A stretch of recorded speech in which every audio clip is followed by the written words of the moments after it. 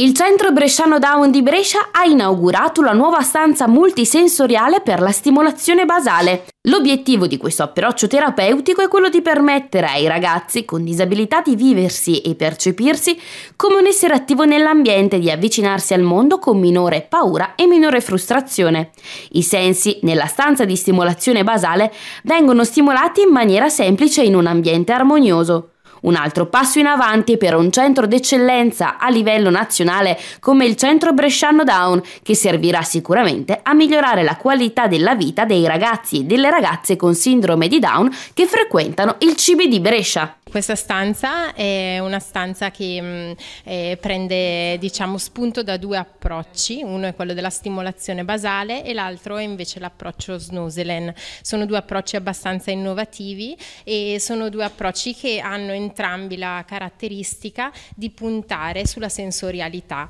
quindi su una sensorialità molto positiva, molto accattivante, eh, quindi mh, mm, proprio tatto, per cui ci sono tante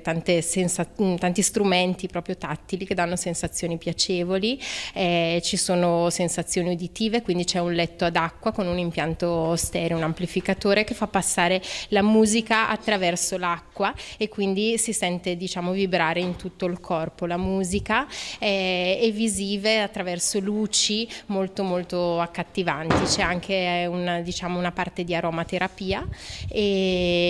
attraverso tutti questi stimoli molto piacevoli e un ambiente molto rilassante, si cerca di eh, stabilire, un, prima di tutto di portare i ragazzi che fanno più fatica ad ascoltarsi perché eh, oltre alla sindrome di Down hanno magari diciamo tratti autistici o difficoltà proprio a entrare in relazione con l'altra persona, si cerca innanzitutto di portarli a un ascolto di sé perché spesso il mondo esterno è per loro troppo confuso e mh, anche spesso sgradevole diciamo, quindi si cerca di, di portarli a un ascolto del, dei propri confini corporei, dei propri limiti e poi in un secondo momento, cosa fondamentale, a portarli in relazione con l'altro, quindi a uscire un po' dal loro mondo interiore in cui spesso si rifugiano e le stereotipie o comunque i dondolamenti, diciamo, sono un po' un segnale che loro ci stanno dando che, eh, che vorrebbero comunicare con noi ma non, non, non sono in grado di comunicare attraverso il verbale o attraverso una comunicazione più standard. E quindi